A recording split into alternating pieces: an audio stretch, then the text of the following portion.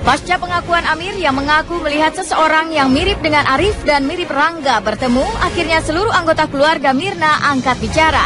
Suami Mirna Salihin, Arif Sumarko, membantah bertemu Rangga dan memberikan bungkusan seperti yang dituduhkan Amir Papalia.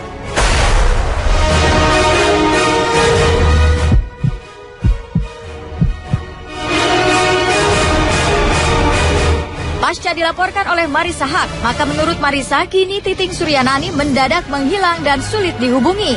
Benarkah wanita yang sempat bekerja sama dengan Marisa Hak tersebut berstatus buronan?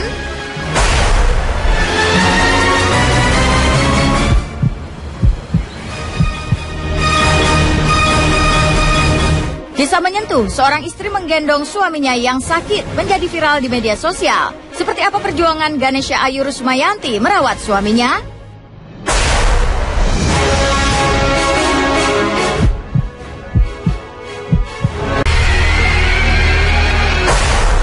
Di depan saya ada satu lagi.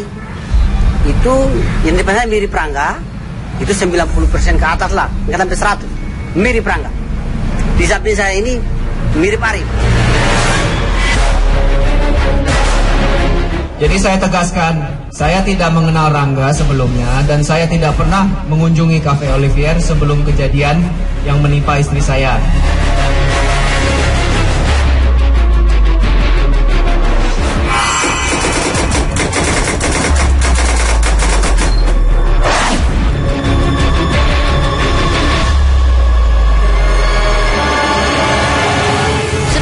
Kemunculan Amir Papalia yang mengaku melihat seseorang yang mirip Rangga, Barista Cafe bertemu dengan seseorang yang mirip suami Mirna, Arif Sumarko. Atas pengakuan Amir Papalia tersebut, keluarga Mirna termasuk Arif Sumarko akhirnya menggelar konferensi pers. Arif dan Rangga membantah seluruh pernyataan Amir kepada media tentang adanya pertemuan di kawasan Sarina. Manajer kafe juga membenarkan kedatangan Amir mencari Rangga sekitar sebulan setelah kejadian. Namun kepada manajer kafe tersebut Amir mengungkapkan cerita berbeda tentang tempat pertemuan Arif dan Rangga. Jika kini diakui Amir melihat yang mirip Arif dan yang mirip Rangga di Sarina, maka kepada manajer kafe Amir mengaku melihat di lobi mall kafe tersebut. Arif berniat melaporkan Jessica karena permasalahan ini, lantaran menceritakan pengakuan Amir dalam persidangan.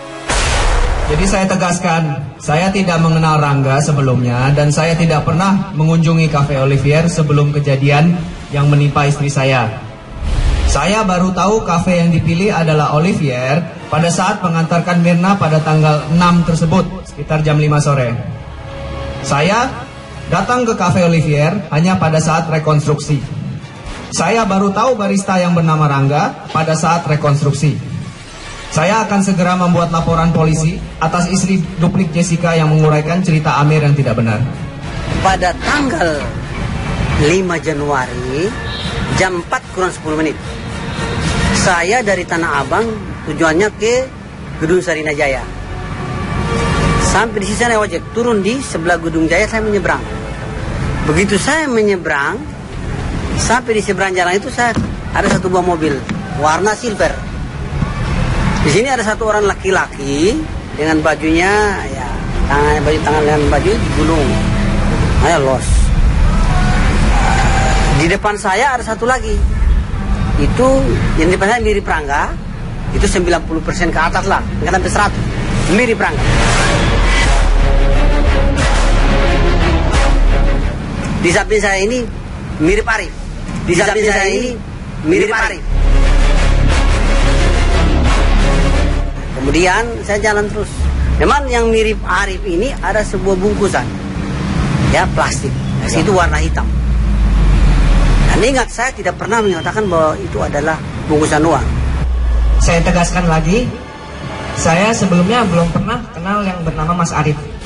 Saya juga belum pernah kenal sama almarhumah Mirna.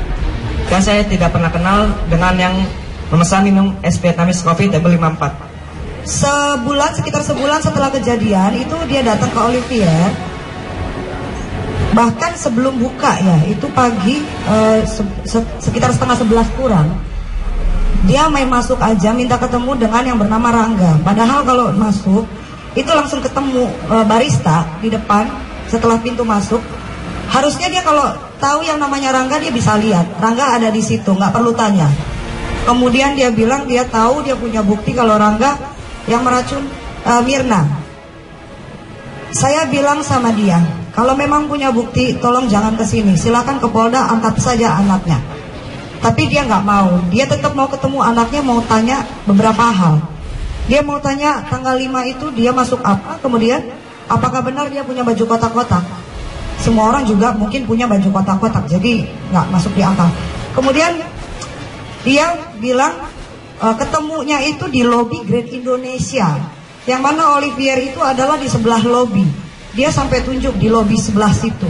Saya bilang saya bisa panggil manajemen GI sekarang dan menyediakan CCTV tanggal 5 Januari. Tapi dia berkelit. Dia bilang dia punya bukti sendiri dan dia akan kasih ke Polda nanti setelah ketemu Rangga.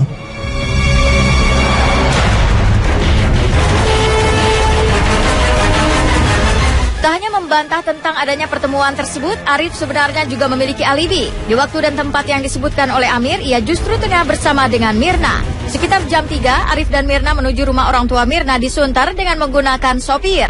Menurut Arif, selain sopir, asisten rumah tangga orang tua Mirna juga bisa menjadi saksi keberadaan Arif sehari sebelum kejadian istrinya terbunuh. Pada tanggal 5 saya bersama apa saudara saya dan suaminya dan apa kakaknya sedang berkunjung ke apartemen. Jadi sekitar jam sampai jam 3 jam 4-an. Terus di situ kami langsung pergi ke rumahnya Sunter. Karena waktu itu Mirna mau ngedekor uh, temennya punya baby shower. Jadi waktu itu ada supirnya juga bersama kami dan sampai malam waktu itu. Jadi uh, ada supirnya, ada pembantu rumah tangganya Mirna juga bisa bersaksi gitu. Pak Oto ngambil ini orang dibawa ke hotel ya. Udah kumpul orang Pak Oto di situ untuk membuat opini publik sampai seperti ini.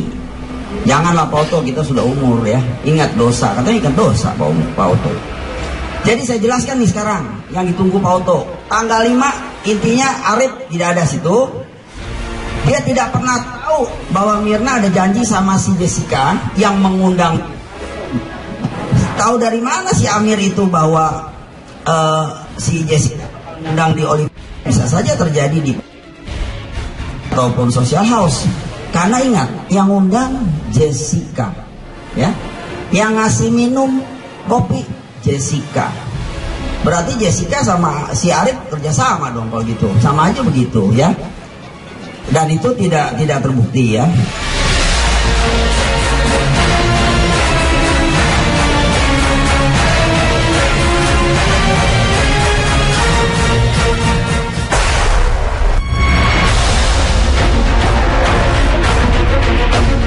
Persoalan hukum yang kian memanas juga terjadi pada Marisa Haq pasca melaporkan Titing Suryanani, event organizer yang sempat mengundangnya sebagai narasumber ke Polda Metro Jaya.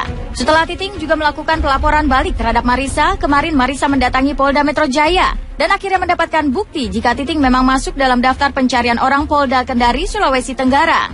Di hari yang sama, kuasa hukum Titing juga datang ke Polda. Namun ia mengaku tak mengetahui status Titing sebagai DPO. Saat ini ia juga tak mengetahui keberadaan kliennya Titing Suryanani.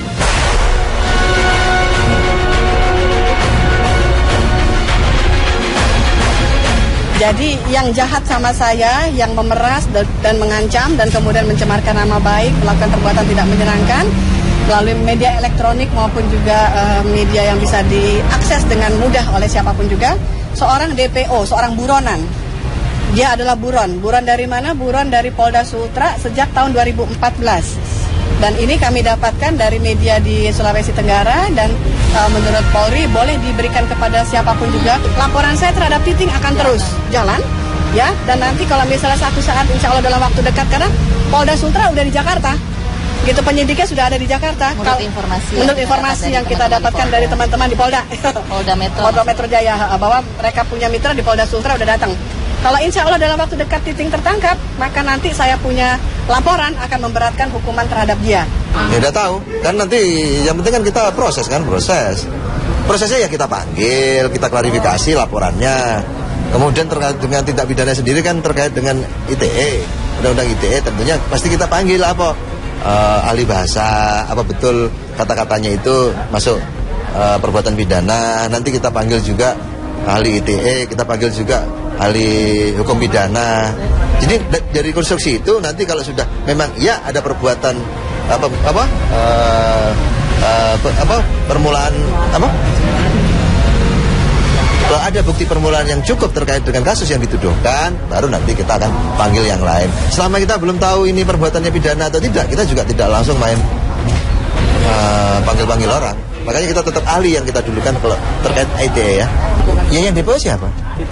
Iya kan yang DPO siapa? Enggak maksudnya kan Polda sana kan? Ya, sudah kan Polda sana yang kan. Tapi yang Polda sini Ya kan laporannya beda. beda Ya? koordinasi mana? Eh, belum sih sebenarnya, belum. Belum, nah, saya nggak tahu. Saya nggak tahu. Eh, sekarang saya belum tahu dia ada di posisi mana, tapi insya Allah akan kami upayakan untuk bisa menghubungi yang bersangkutan, menanyakan kejelasan seberapa jauh kebenaran apa yang sudah disampaikan.